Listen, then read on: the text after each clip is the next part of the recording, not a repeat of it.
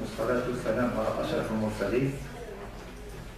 سيد المدير السادة مدراء المؤسسات الاستشفائية زميلاتي القابلات السادة الحضور جسمه ومكانه السلام عليكم. بادئ ببدعة. أشكر السيد المدير المعهد الوطني للشبه الطبي وكذلك اللجنة المكلفة بتحضير هذه الأيام التكوينية.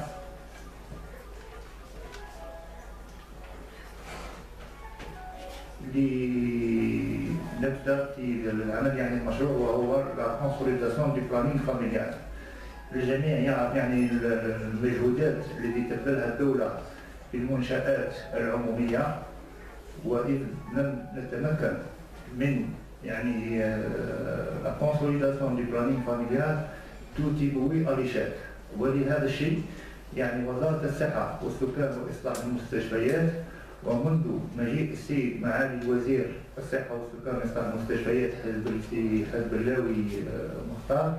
يعني أول ما قام به فهو سي لا كرواسونس ديموغرافيك اللي راهي في الجزائر طالعة اون فلاش دونك ولهذا الشيء يعني قبل ما نروحوا يعني لا رياليزاسيون دو توت لي ستركتور بوبليك كو سوا de la santé que ce soit au niveau de, dans, de l'éducation l'enseignement supérieur dans tous les domaines.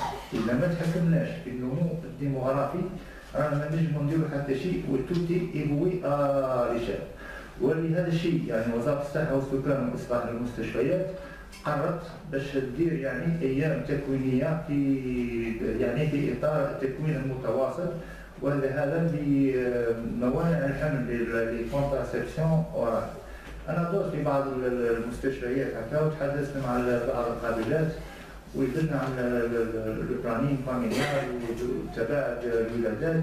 كي نهضر مع القابلات تقول لي أنا هضرنا مع المرأة هذه وهي ترفض رفضا قاطعا الستيليبي وترفض الحبوب وترفض و و و و. وإنما هذا يعني ما يمنعناش بس أنتم باسكو أنتم راكم في وجهها وتتكلفوا من يعني كل تخافوا الجهود نتاعكم باش تقنعوا المرأة. باش تقنعوا المرأة. باسكو كما قنعتوهاش أنتم واحد ما يقنعها كما يقولوا. ما ندخلش في لي ديتاي كما يقولوا تكنيك ربما كاينين اساتذه اللي راح يجوا راح يقوموا باللي ديتاي هذا. وإنما راكم أنتم اللي في الواجهه باش يعني المراه تتقبل عندنا بليزيور ميثود دو كونتراسبسيون وإنما في وقت ماضي تحكمنا في البلانينغ فاميليال وكان ذاك الوقت الكوبل ما كانش يعني عنده كيفاش يقولوا النيفو انتليكتويال يعني كيما راهو حاليا. من الآن على 2017 وليتوب يعني راهو على الاقل على الأقل راهو المستوى نتاعو يعني راهو تلقاه كما هو الثانوي راهو جامعي على كل اتحاد بل هذا يعني يزيد يعني يشجعنا باش تقنعوا يعني المرأة يعني بتحديد يعني الولادات نتاعها. والجميع يعرف أن الجزائر يعني في حوالي 40 مليون يعني نسمة وال 60 à 65% de la population algérienne elle est de la jeunesse entre 25 et, et 30 ans. إذا إذا لم نتحكم في الديموغرافي كل ما يتم إنجازه من طرف الدولة رايح يعني الرشاد. حصري بدون إطالة عليكم لوش نقول لكم يعني نتمنى لكم يعني أيام يعني تكوينية يعني سعيدة و... وهذا ما أقول لكم بارك الله فيكم السلام عليكم نشكر مدير الصحة على تشريفنا وحضور الافتتاح الرسمي تاع الأيام التكوينية هذه le plaisir de vous souhaiter la bienvenue au niveau de, de notre institut. C'est devenu une, une, une habitude, c'est des os تاع المعهد.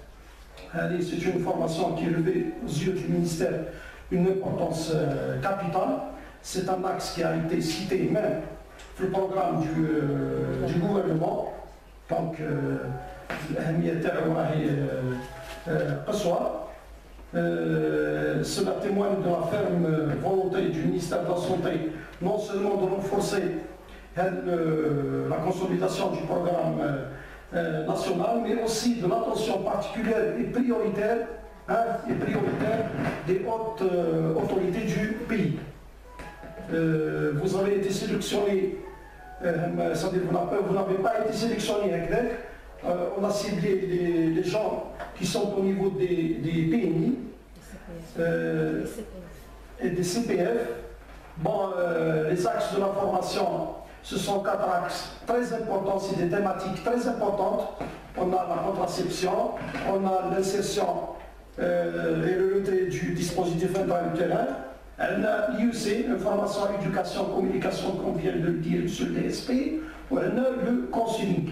Counseling, comme tout le monde le sait, c'est un programme qui a été lancé peut-être les années 2000. Euh, il a été lancé, hein, mais il n'a pas réussi. On va le reprendre. C'est des thématiques qui ont été reprises. dans la contraception. Hein, وعلاش كيما قال مسيو الدي اس بي وكيما على بالنا كامل لا ديموغرافي راهي راهي galopante donc نبداو la contraception pendant 3 jours نروحوا للدي pendant 5 jours ah, c'est une formation qui va se diviser en deux, en deux, en deux, en deux grands euh. C'est une formation théorique au niveau de l'Institut. Et on a sélectionné des pôles au niveau de l'EPSP BATNA qui vont nous servir de lieu de pratique. comme je l'ai la théorie parce que la dernière fois un cycle de formation qui concerne le DU, mais ça n'a pas donné des grands résultats. Je pense qu'on a travaillé uniquement le côté théorique, où le DU c'est un acte beaucoup plus, euh, beaucoup plus euh, pratique. au niveau de l'EPSP, au niveau de l'EHS, mais les enfants, parce que euh, comme, vient de nous dire, Madame Abouza, un euh, important et intéressant. Donc, on a un groupe au niveau de l'EPSP, un groupe au niveau de l'EHS. Pour terminer, nous devons faire formation, éducation et communication. C'est vrai qu'il y a des programmes, c'est vrai qu'il y a des programmes, mais c'est des programmes qui ne réussissent pas. Parce que moi je dirais que le problème est au niveau des. Je dirais que le problème est au niveau des PMI. Au début, parce que le programme existe. Et comme, vient de le dire M. le DSP, la tranche d'âge euh, entre 25 et 30 ans, et on n'arrive pas à sensibiliser les gens, à, à, convaincre les gens pour, soit pour la contraception, ou pour le début. Donc, euh, un grand travail vous attend. Moi, euh, je demanderai seulement, est-ce que les gens qu'on a ciblés, hein, moi je demanderai surtout au, niveau de, ça peut-être euh, la dernière séance, l'évaluation de tout le programme qui est ou le programme qui va s'étaler sur 14 jours. Hein, on va peut-être inviter tous les responsables, tous les directeurs des différents établissements, que ce soit le PSP, le PH, CHU, HS, une chose, c'est que les gens qu'on a ciblés, parce qu'on ne peut pas former une sage-femme un certain programme aussi important que celui-ci au niveau des PMI, par faute de moyens, au niveau du bloc. C'est-à-dire comme s'il y a une cassure au niveau de, de la formation. Donc, peut-être le docteur Messadia, le docteur Benachia à la fin, l'évaluation de toute la formation, on va discuter sur ce point avec les chefs d'établissement. Euh, je dirais la prise en charge au niveau de l'institut. Hein? Euh, le cycle, il donne le Lyon, dans trois jours. Il donne un deuxième cycle la semaine prochaine qui va s'étaler sur cinq jours. Hein? Ben, j'ai un autre cycle de trois jours sur l'IUC, on ressemble le counseling. Donc, vous serez pris en charge pendant 15, 15 jours au niveau de l'établissement. C'est des formations qui, Inch'Allah, à partir d'aujourd'hui, bon, aussi l'ouverture, dans 9 heures, ونكملوا entre 13h et 14h pour permettre aux gens de rentrer chez eux hein, ويرجعوا لنا le lendemain. Moi, c'est tout ce que j'ai à dire وندي كمان السيد المدير باش يعلمنا تاع الرسمي تاع الايام الكليه. تفضل. شكرا. كما يعني يقول زميلي وصديقي مدير المعهد الوطني من الاحسن يعني كما قال هو الذي ساج فام فورمي نورمالمون formé faut être des formatrices. أنتم مثلا اللي معاهم القابلات اللي راهم في البي ان اي وزعما il faut les former il faut les sensibiliser غير انت هذا راهو لازم تبادل الجهود تاع الجميع باش نجموا نتحكموا في النمو هذا الديموغرافي وماذا بينا لا فام كي فورمي هنا ماذا بينا تبقى في لو بوان تاع لا بي ام اي دونك باللي أو نيفو دي بوليكلينيك سا بوز با دي بروبليم باسكو دي مومون اللي تخدم في بي ام اي لا بي ام اي تاع بوليكلينيك و تاع بوليكلينيك Mais apparemment, le problème se pose au niveau des, de l'OHS, les في في السويدين تاعها الحمد لله في كانش هذا ما كنت نكون لكم التوفيق ان شاء الله واعلن رسميا عن افتتاح الدورة التكوينية وشكرا.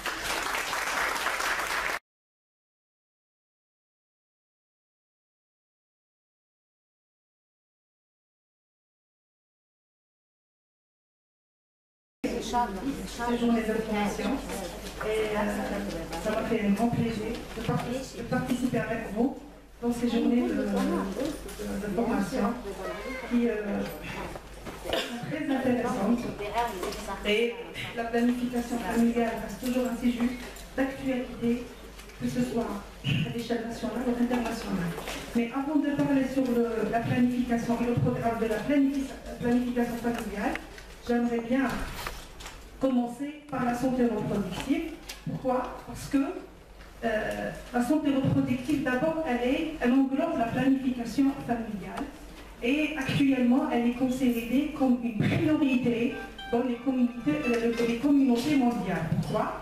Parce qu'elle englobe la planification et elle a un sens plus large. C'est un concept qui est considéré actuellement comme une priorité et c'est la voie de, de la vie. C'est un concept qui est apparu pour la première fois en 1994 dans une conférence internationale, c'est la conférence de Caire sur le développement et la population. Et tout le monde, tous les participants ont mis leur attention sur cette santé reproductive. Donc, c'est une santé qui englobe la planification. La planification, elle se limite à la maîtrise de la croissance démographique. Par contre, la santé reproductive, elle contient ou bien elle comprend plusieurs notions. Donc il y a en plus de la planification, il y a la santé de la mère, il y a la santé de l'enfant, il y a la prévention et des, infections sexuellement transmissibles, l'éducation sexuelle, et même la prise en charge des cancers et la prise en charge de la femme ménopausée. Donc c'est un sens euh, plus large. La définition de la santé reproductive, c'est un état de bien-être général, tant physique que mental et social de la personne humaine pour tout ce qui concerne l'appareil génital, ses fonctions et son fonctionnement, et non pas seulement l'absence de maladie ou d'infirmité. Cela suppose donc qu'une personne peut mener une vie sexuelle satisfaisante en toute sécurité et qu'elle est capable de procréer euh, et libre de le faire aussi souvent qu'elle le désire. Donc c'est l'état c'est le bien-être physique, mental, physique. En ce qui concerne l'appareil génital, donc c'est la fécondité, c'est les accouchements sans risque, etc. Et en toute liberté, c'est la vie sexuelle satisfaisante et saine, et la liberté euh, dans, cette vie. généralement, comme on a déjà dit, un domaine prioritaire dans le monde entier, elle affecte la vie des femmes et des hommes. Donc, c'est une santé qui intéresse que les, hommes et les femmes. De la conception à la naissance, en passant par l'adolescence jusqu'à la vieillesse, elle recouvre à la fois l'accès à la santé, la protection, la prévention ainsi que le traitement des maladies. Donc, c'était, elle est apparue pour la première fois dans cette conférence internationale de CARE sur le développement et la population. Et dans les objectifs de cette conférence, beaucoup plus c'était des naissances planifiées, programmées, des grossesses et accouchements qui se déroulent dans de bonnes conditions, sans risque, et enfin une sexualité saine. La planification, c'est quoi? C'est un ensemble de mesures techniques. C'est le technique et éducatif. Donc il y a l'éducation, il y a les moyens qui permettent au couple une relation conjugale normale, sans craindre la survenue d'une grossesse et choisir librement, en fonction de leurs possibilités et de leurs désirs, le nombre d'enfants qu'ils souhaitent, le moment de leur naissance et l'intervalle entre deux naissances. C'est la définition de l'OMS. C'est une méthode de prévention par la mise à la disposition des populations des moyens contraceptifs, on doit avoir des moyens, et par l'élaboration de programmes d'éducation sexuelle et de préparation à la responsabilité parentale. Donc il y a les moyens, il y a la sensibilisation en parallèle. On ne peut pas réussir un programme sans sensibilisation, même si on a, euh, c'est-à-dire des moyens euh, pour, cette planification. La planification, c'est un élément très important de la santé reproductive. Elle joue un rôle important dans la réduction de la morbidité et de la mortalité maternelle liée aux risques de la grossesse. Il est connu que la multiparité élevée, bien sûr, les grossesses rapprochées moins de 2 ans, les grossesses précoces moins de 15 ans, tardives après 35 ans, tous, c'est des facteurs de risque majeurs pour la mère et les nourrissons. La planification familiale, c'est un élément essentiel de soins de santé primaire. Elle doit, en conséquence, être intégrée à toutes les activités liées à la protection de la santé de la mère et de l'enfant. Donc, le concept de la santé euh, reproductive, il est prioritaire. Pourquoi? Il est prioritaire parce qu'il y a une mobilité, mortalité importante.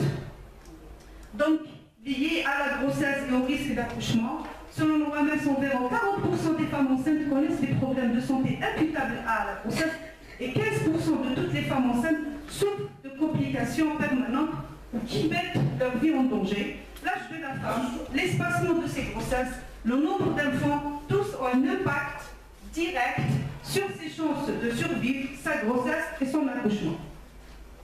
Vous voyez, la mortalité maternelle, c'est un indicateur très important pour évaluer la santé reproductive et, si vous voulez, la planification familiale. Euh, selon les données internationales, c'est le rapport de l'OMS en, 2016, vous voyez qu'on a 830 femmes environ meurent chaque année, chaque jour, à chaque jour, de causes évitables, ces causes évitables liées à la grossesse et l'accouchement, et 99% de tous les décès maternels c'est surtout surviennent dans les pays malheureusement en voie de développement et la mortalité maternelle est plus élevée au milieu rural et dans les communautés les plus pauvres. Et enfin, le risque de complications et de décès dus à la grossesse est plus élevé chez les adolescents que chez la femme plus âgée. Donc vous voyez ici la mortalité maternelle, ça, dans les, niveaux les plus élevés, c'est le Sierra c'est l'Afrique généralement les pays sous-développés. Les niveaux les plus faibles, vous voyez la Finlande, la Grèce, on n'a pas décès uniquement. Euh, donc pour 100 000 naissances par an, la Grèce, l'Islande, euh, la Suisse, la Norvège, c'est des pays développés en général. Les causes, selon le rapport de l'OMS en 2014, vous voyez, c'est toujours les infections préexistantes et les hémorragies. Ensuite, c'est les infections et l'hypertension. Et euh, enfin, les avortements à risque. En ce qui concerne l'Algérie, la mortalité maternelle en Algérie, donc j'ai oublié de vous donner la définition. Le décès maternel, c'est tout décès survient au cours de la grossesse ou dans un délai de 42 jours après la Voilà. Donc, euh, c'est les chiffres de ce qui concerne l'Algérie. Donc, vous voyez qu'on a, malgré le recul, donc euh, net, en ce qui concerne les décès, donc on a passé de 230 décès pour 100 000 naissances à 60 décès pour 100 000 naissances euh, euh, en 2015, mais reste toujours insuffisant par rapport aux moyens mobilisés par l'État, c'est-à-dire en ce qui concerne la surveillance et la prise en charge des femmes. Pourquoi? Parce que l'OMS, en collaboration avec l'Algérie, on a fixé comme objectif de 57, 57 décès pour 100 000 nouveau-nés, mais malheureusement, ça n'a pas été. Euh, donc, euh, on a passé à 60 et c'est toujours insuffisant, comme vous avez euh, déjà dit, par rapport aux moyens. Donc des efforts qui doivent être donc, consentis dans ce sens pour essayer de lutter contre cette mortalité maternelle en Algérie. J'ajoute une chose. hein. Oui. Concernant la mortalité maternelle, il y a le développement durable. Avec les Nations Unies, ils veulent 30, euh, euh, 30 décès pour 100 000 naissances jusqu'à l'année 2030. C'est un projet établi par euh, les Nations Unies. Et l'Algérie fait partie de, de ce groupe euh, de pays. Et donc l'Algérie, dans ce, euh, dans ce programme, elle se situe à un niveau intermédiaire. Voilà. Ça, c'est les chiffres concernant la wilaya de Batna. C'est des données qu'on a exploitées avec Madame Ablos dans le service de, de population de la DSP. Euh, on a, en 2011, on a notifié 13 décès dans l'âge moyen. C'est toujours entre 25 et 35. En 2012, 8 décès. En 2013, 4 décès. En 2014, 11. En 2015, 16 décès. En 2016, 10 décès. Et cette année, En 2017, on est à 16 décès. 16 décès. On n'a pas encore terminé l'année. 16 décès. 16 décès année. 16 décès évitables. Parce que c'est des patientes qui se présentent avec des HR, avec des crises pré-éclampsie et elles atterrissent, euh, elles décèdent avec un syndrome. Donc on a la prise en charge elle n'est pas au niveau des, établissements. Parce qu'on ne peut pas faire admettre une femme pour une crise de pré-éclampsie et elle termine avec un HELP syndrome. Mais la prise en charge, on peut le dire, elle est vraiment catastrophique. Merci madame. Donc je continue. En ce qui concerne les causes de décès, c'est toujours dans la wilaya de Patna. Sur les 6 ans, vous voyez que les hémorragies, la CID, la utérine, à peu près 27, 30, c'est 34 cas. Donc c'est la majorité des femmes. Ensuite, les cardiopathes, on a uniquement 3 cas. L'embolie pulmonaire, 7 cas. Donc la majorité des décès dans la wilaya de Patna, c'est des déchets évitables. Et qui dit hémorragie et rupture, donc la surveillance prénatale et euh, pernatale, elle est primordiale. Donc la surveillance des femmes enceintes au niveau des PMI. Euh, je continue toujours dans l'importance de cette santé reproductive, c'est-à-dire cette planification familiale, elle permet d'éviter beaucoup de choses, d'éviter des grossesses rapprochées, d'éviter des grossesses jeunes avant de 15 ans et d'éviter des grossesses tardives au-delà généralement de 35 à 40 ans qui sont des facteurs, de risque pour la femme et pour l'enfant. Euh, cette santé reproductive également, elle est importante parce que grâce à une, une éducation sexuelle correcte, on peut prévenir beaucoup de choses, surtout les infections sexuellement transmissibles, à, à savoir le VIH et les hépatites. Selon l'OMS, donc, la santé reproductive, elle permet de... Elle sauve la vie des femmes et améliore leur santé. L'OMS estime que 100 000 décès de, de mères pourraient être évités chaque année si toutes les femmes avaient des moyens contraceptifs. La santé reproductive, reproductive sauve la vie des enfants et améliore leur santé avec un espacement suffisant des naissances. On pourrait réduire la mortalité infantile jusqu'à un tiers dans certains pays. Et elle améliore la qualité de vie de la famille. Les familles peuvent consacrer davantage de ressources à l'alimentation, à l'habillement, le logement, l'éducation des enfants, si ceux-ci sont moins nombreux et en meilleure santé, bien sûr. Et la santé reproductive est un, est un avantage pour le couple, la famille et la communauté. L'historique, l'historique il est très important, il permet justement de voir un petit peu l'évolution de cette santé reproductive et planification familiale dans le temps. En 1955, se criait le mouvement de la maternité heure- heureuse qui devient en 1960 le mouvement français pour le planning familial. Les objectifs c'était de lutter contre les avortements clandestins, assurer l'équilibre psychologique du couple et améliorer la santé des mères et des enfants. La même, année, un biologiste américain Pincus découvre et propose un produit hormonal capable de bloquer l'ovulation et c'était la première pilule contraceptive. Entre 60 et 61, diffusion de la méthode des températures, l'idée d'une contraception orale commence à faire son chemin.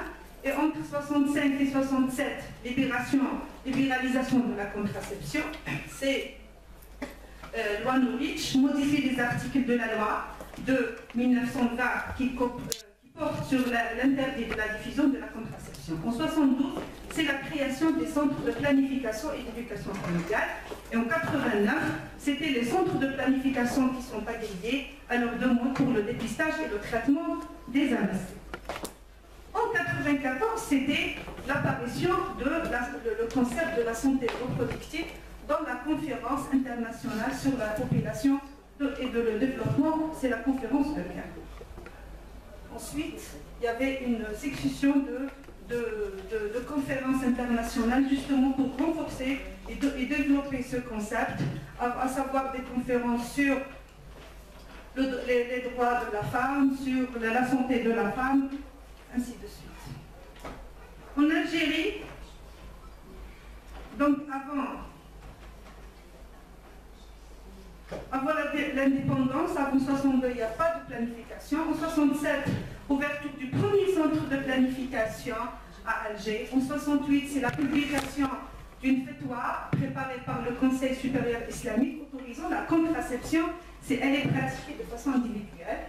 En 74, du du programme national, c'est le programme national d'espacement de naissance, la volonté politique d'agir sur la dynamique de la population dans le cadre de la stratégie nationale de développement est apparu en Algérie à la fin des années 70 et s'est traduit surtout par le programme national de maîtrise de la croissance démographique PNMCD en 83. Et il faut sachez que après, après la mise en place de ce programme, des changements majeurs en ce qui concerne la croissance euh, démographique. On a constaté un ralentissement dans l'accroissement démographique qui est traduit surtout par une baisse de la natalité. En 84, il existe 399 centres de PMI avec espacement des naissances intégrées et en 90, donc 65 centres de PMI avec espacement des naissances intégrées. Voilà, c'est un qui concerne cette planification familiale en Algérie. Alors, les composantes de la santé reproductive, c'est quoi? Il y a des composantes essentielles, il y a des composantes importantes et il y a des composantes particulières parce qu'on a déjà dit que c'est une santé qui est, euh, un sens plus large. Elle comporte presque toutes les périodes de, la vie, de, dès la naissance jusqu'à la vieillesse. Pardon? Les, composantes essentielles, il y a la planification familiale, il y a la santé de la mère et de l'enfant, il y a la santé sexuelle, à savoir la prévention des infections sexuellement transmissibles, essentiellement le VIH. Les composantes importantes, il y a l'infectivité, il y a le dépistage, surtout, et le traitement des cancers génitaux et mammaires, essentiellement, pour le dépistage surtout, le dépistage du cancer du col et mammaire. Et parfois, ailleurs, il y a même le dépistage du cancer de la prostate. Les composantes particulières, c'est la santé des adolescents et des jeunes, c'est l'éducation sexuelle, et a la prise en charge de la ménopause. Seulement, il faut savoir que cette santé reproductive en Algérie, elle se limite généralement à la planification familiale, d'accord? Et euh, le droit, euh, le droit des, de la population d'accéder à des services de santé, c'est les PMI justement pour la pour euh, la surveillance des mères et des enfants. Et euh, on n'a pas d'éducation sexuelle, malheureusement, parce que ça reste toujours un sujet tabou dans, notre population, dans notre pays, qu'on doit normalement le dépasser actuellement. Donc une sensibilisation qui doit être large, que ce soit dans le milieu scolaire, universitaire, chez les parents et leurs enfants, une communication surtout avec les parents, les parents avec euh, leurs enfants, et ainsi de suite on va essayer de voir. Donc, chaque période, elle a des particularités, il y a des problèmes particuliers, il y a des activités qu'on doit, euh, qu'on doit les, réaliser afin de résoudre ces problèmes. Dans la période de l'enfance, il y a beaucoup plus, c'est la mortalité et la morbidité infantile, périnatale, il y a la malnutrition. Donc les programmes ou les activités qui doivent être réalisées en parallèle, c'est les soins prénatales, il y a l'accouchement, la surveillance de la grossesse, donc afin d'avoir un accouchement sans risque. Il y a les soins postnatales, la supplémentation afin de lutter contre la malnutrition, le PER, programme élargi de vaccination, donc, qui permettent de prévenir beaucoup de maladies contagieuses, beaucoup de maladies infantiles qui étaient avant euh, donc les maladies infantiles les plus meurtrières, telles que la rougeole, la poliomyélite, euh, la tuberculose, etc. Il y a le programme de lutte contre les infections respiratoires aiguës et les diarrhées. Et enfin, le programme de lutte contre le RA, le rhumatisme articulaire aigu, donc par un dépistage, un traitement euh, correct à temps et une prévention correcte. L'adolescence, l'adolescence c'est beaucoup plus les problèmes. Donc la nutrition, on se voit que le problème de la, euh, de la nutrition, il se voit à toutes les périodes de, pratiquement.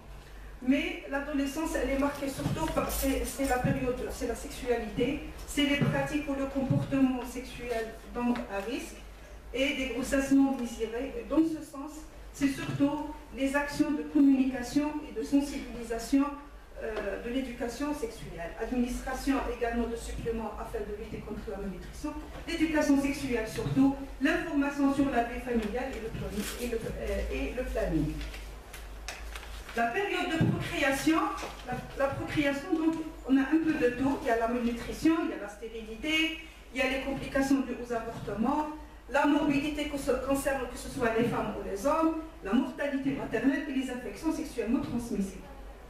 Pour lutter contre tout ça, donc, faut donc lutter contre la malnutrition par une éducation nutritionnelle euh, correcte, une euh, euh, éducation, communication, sensibilisation contre donc les infections sexuellement transmissibles, euh, un traitement, une prise en charge correcte de la stérilité, euh, euh, prévention et traitement donc correct de la morbidité, que ce soit pour les hommes ou les femmes, et enfin la planification familiale afin de régulariser la fécondation.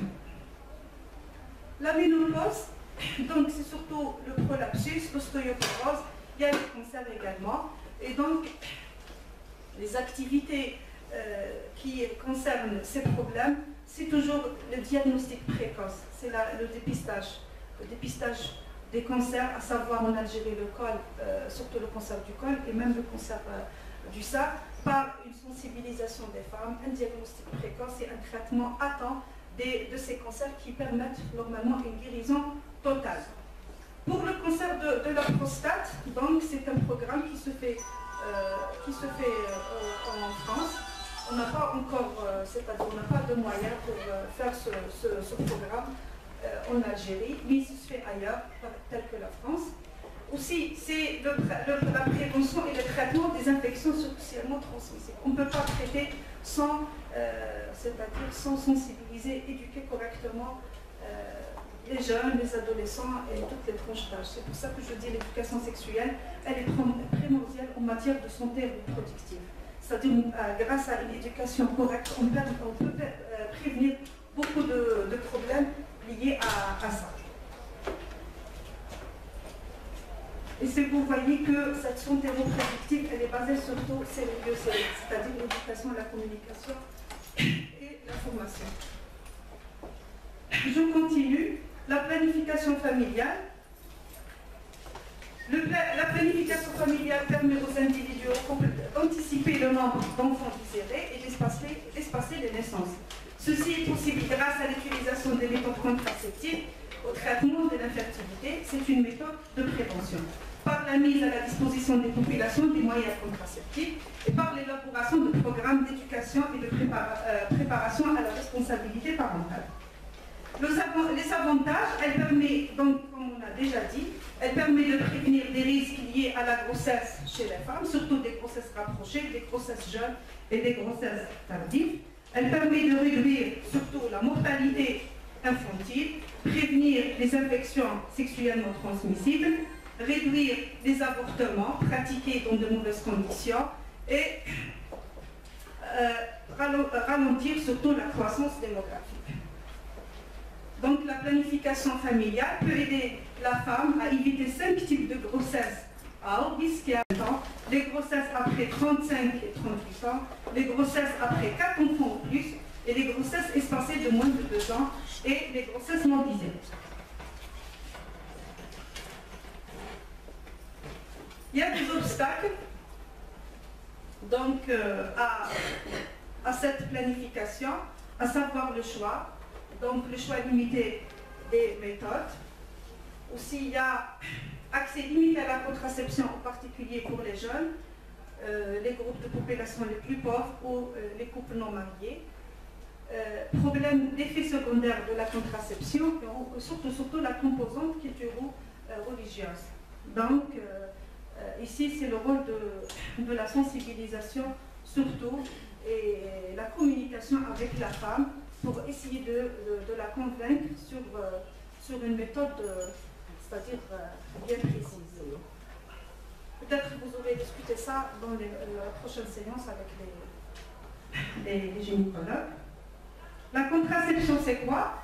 C'est une méthode qui permet d'empêcher la survenue d'une grossesse pendant une période désirée et c'est l'ensemble des moyens employés pour provoquer une infécondité temporaire chez la femme ou chez l'homme, c'est-à-dire les différentes méthodes qui ont pour but d'éviter une grossesse. Si vous voyez là, c'est l'évolution de la pratique contraceptive. D'abord, le taux de prévalence, c'est la proportion des femmes mariées utilisant une méthode contraceptive. On voit qu'il y a une progression dans la contraception. C'est à partir de, de 86 jusqu'au 2002, on a passé de 26,4%, euh, plutôt de 35% à 57%, et ça a été toujours la contraception orale ou la pilule qui, euh, qui, domine, c'est-à-dire c'est la méthode la plus utilisée. Le on a passé de 2,1 à 3% en 2002, mais il y a un fléchissement ces dernières années en matière d'utilisation de dispositifs intra-utérins. Par exemple, en 2008, l'utilisation du dispositif intra-utérin n'est que 2%, alors que la contraception orale ou bien la pilule reste toujours dominante, à savoir 45,9%. C'est l'évaluation de la planification en 2008. La pilule donc, a toujours été la méthode la plus utilisée par les femmes mariées, bien que le stérilet soit une méthode efficace.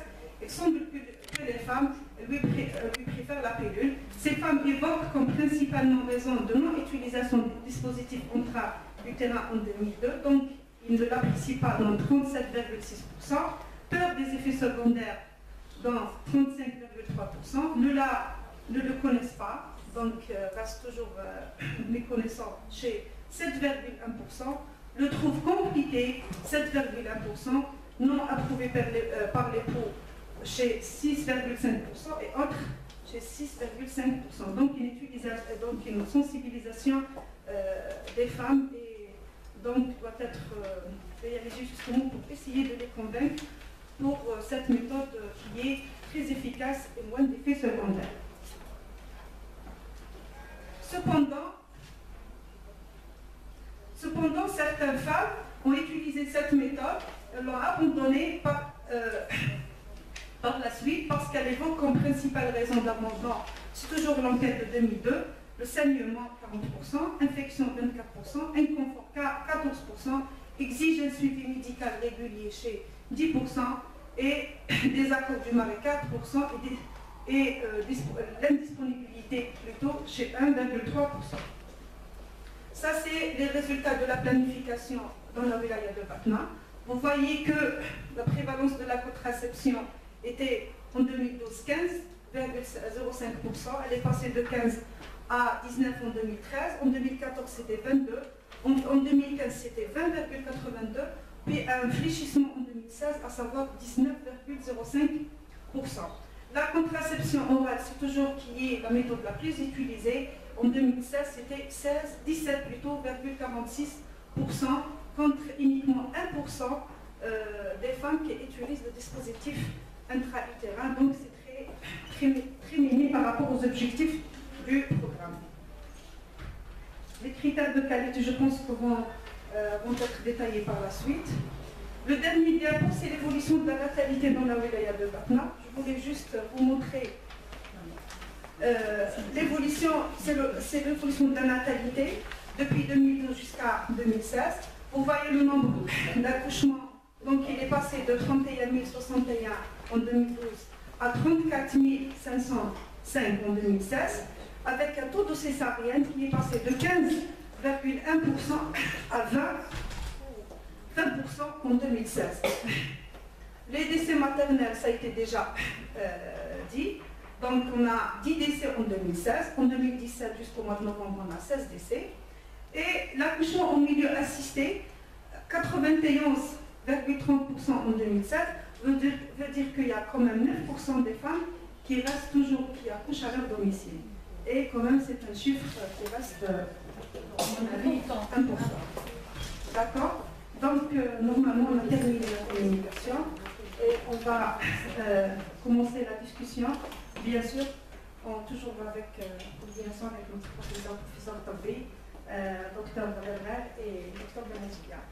Et je vous remercie.